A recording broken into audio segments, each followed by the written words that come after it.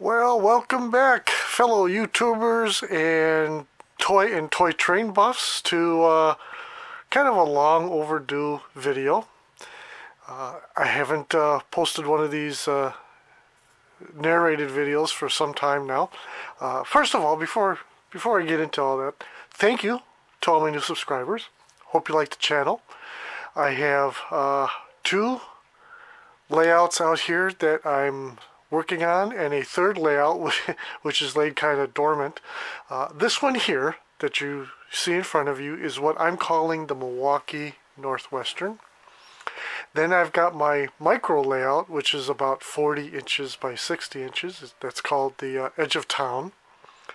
And then I have a two rail Hornby wind-up uh, and it's UK or British themed and that's right behind me and it's also uh, it's not a pretty sight to see right now. uh, so I'm not even going to show you that. But anyway, uh, I have been running trains. If uh, if you've been watching the channel, you know I've been posting shorts and posting a few uh, short videos that uh, had no narration to them. And I haven't really been out here doing much. There, you know, I've had a gimpy right leg that uh, that bothered me. Like it's been bothering me since like November. So just coming out here in the cold, just uh, eh, I didn't feel like doing stuff. However, I did manage to put together the my Polar Express Christmas layout in the living room.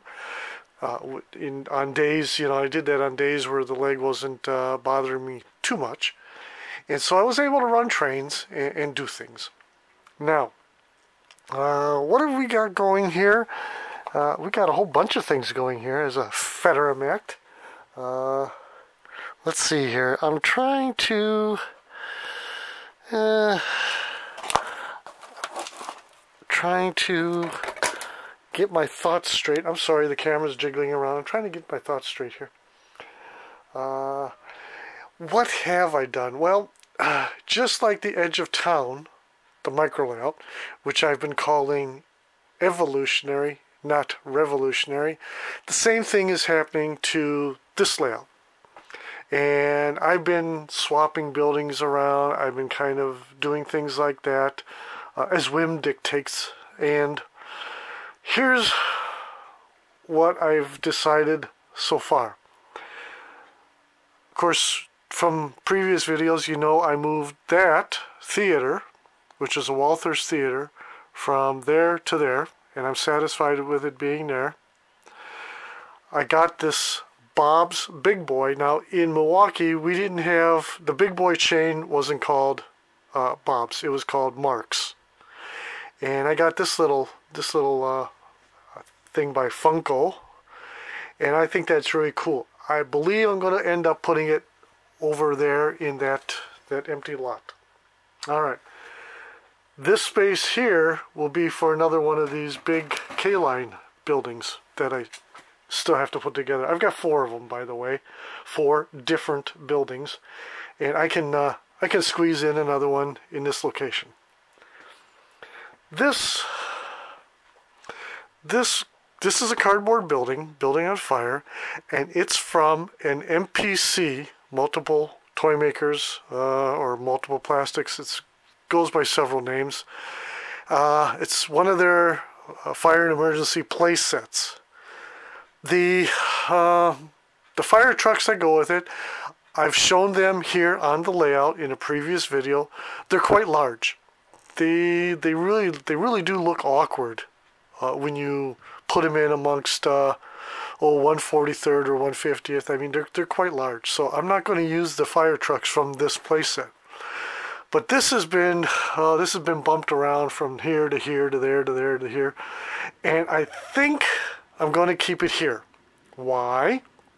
Because it's a cool looking piece, and as you come to the layout, this makes a, a really nifty scene for for one to see as, as, they're as they're looking at the layout instead of having it off to the side somewhere.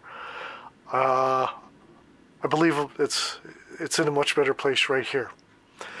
The figures, uh, I have been getting figures, I have been getting accessories and odds and ends for the layout. These figures are a combination of K-Line and Rail King. And I like them because, uh, well, you know, there's not a whole lot of old-scale firefighting uh, figures available. I've got uh, several more that really need bases, okay, because they just don't stand up on their own. And I have a, a nice Arttista figure, uh, which also needs a base. So, you know, there you have it. I'm doing stuff very slowly. Like I said, evolutionary, not revolutionary. I have gotten in things.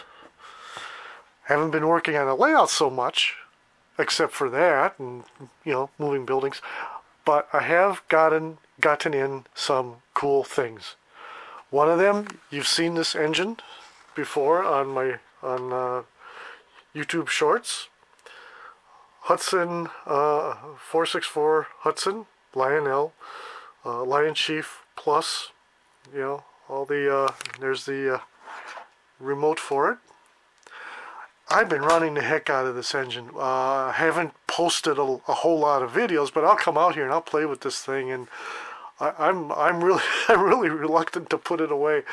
I'm having fun with it. Okay, I've gotten a couple more MPC era cars, the Hamm's beer.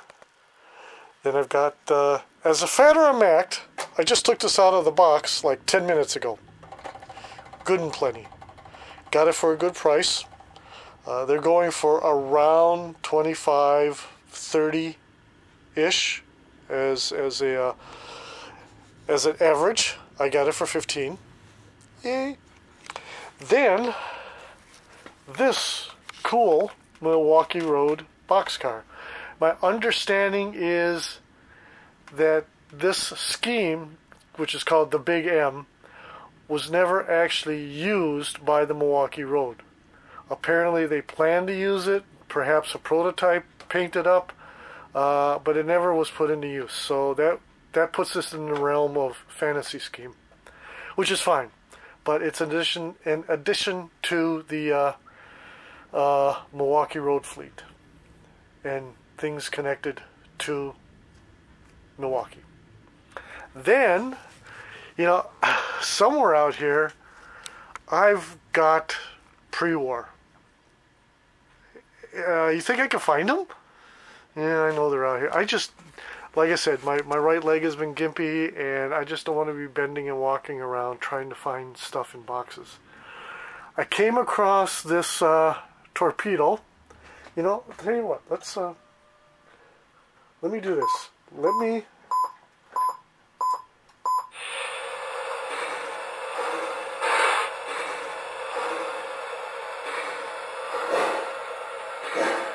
get this train cleared out so we could take a better look at the pre-war.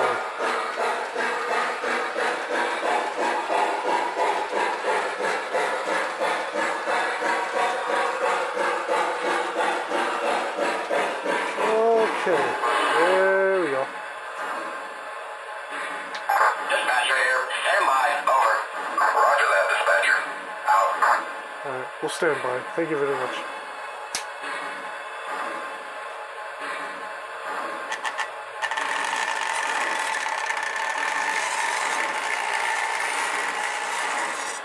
There we have it. I bought this complete as a set off of Fleabay with the, uh, what is that engine again? I'm so bad with names. Okay, I'm going to put the camera down so I can look at this, this engine. What was it? Oh, 1668E. Says so right there, 1668E. All right. Uh, torpedo, Pennsy K4 style torpedo engine, pre-war, with the auto box couplers. It the tender is a whistle tender, doesn't work. Okay. I can always stand here and go woo woo. Good enough. Uh, shell tank car, gondola, and caboose like I said, I've got pre-war out here. I haven't run pre-war on any of my layouts in over 20 years. And I, guys, I wanted something right now, without hassle, to take out of the box, put on the track, and run. And that's what I did. I didn't have to pay a whole lot for this, so that makes me happy as well. So I'm going to be hopefully running more pre-war in the coming months, as well as uh, I've got a couple other things planned, like uh, running my Hiawathas. That, that, that was another project I started last year and got sidetracked on. So leave us do this. Leave us run trains.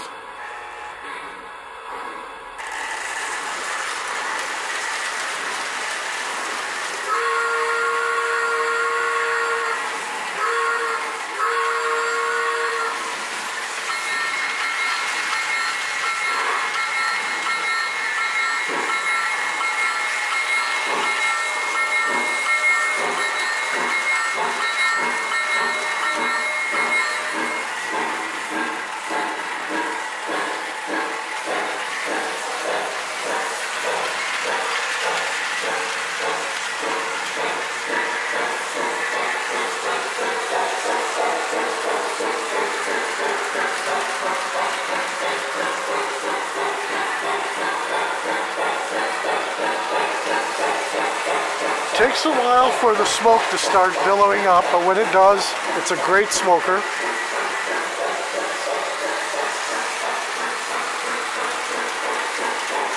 For those of you who are familiar with the YouTube channel uh, Nick's Crossing,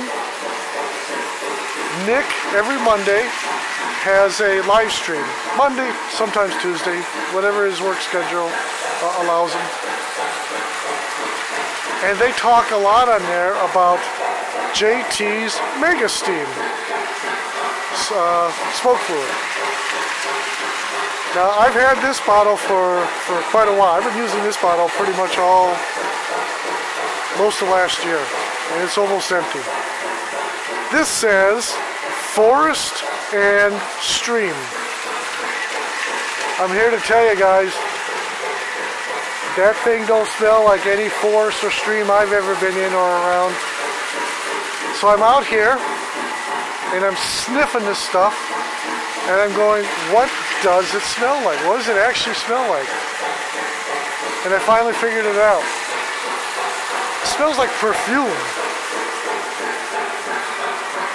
Yeah, I'm serious. I mean, you know, that's what it smells like. Now, that being said, I've got some original cedar, which I'll have to start on. I've got some Christmas pine.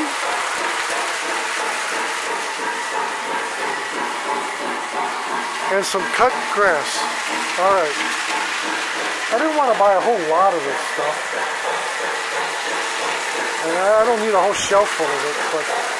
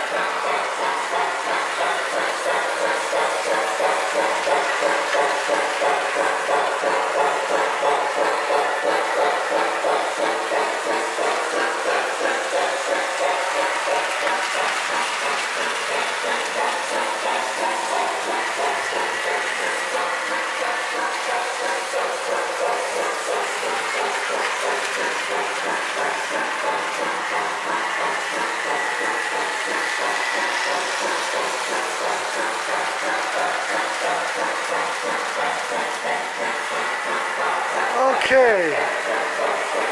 Let's bring them on home.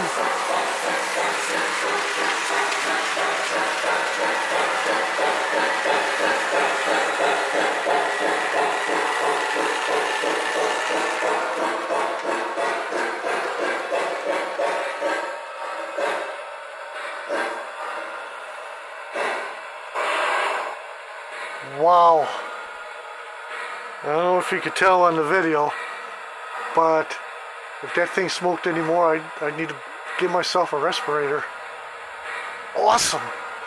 All right. Ta-da. And there you have it for another running session and uh, another sort of progress update for this uh, progress, slow leak in progress uh, update, which is okay, you know. Uh, I'm not going to rush myself. So yeah, I hope you enjoyed it, uh, and I'm I am happier than a pig in slop getting back into pre-war. It's what I started buying when I switched from HO scale to three rail O gauge. Uh, is was tin plate and uh, pre-war and stuff like that, and then somewhere along the line I lost sight of that and stopped running my uh, pre-war Lionel. You'll notice uh, if you go back through my channel and a couple hundred videos that uh, I did a lot of Marx. I was into Marx for many years, but I am happy to get back into uh, Lionel pre-war. Lots of fun, and of course, that engine over there. Wow, awesome, love it. Give me more. Anyway, uh, thank you again to all the new subscribers. Hope you enjoyed this video. Until next time, tschüss, adieu, auf Wiedersehen, bye y'all.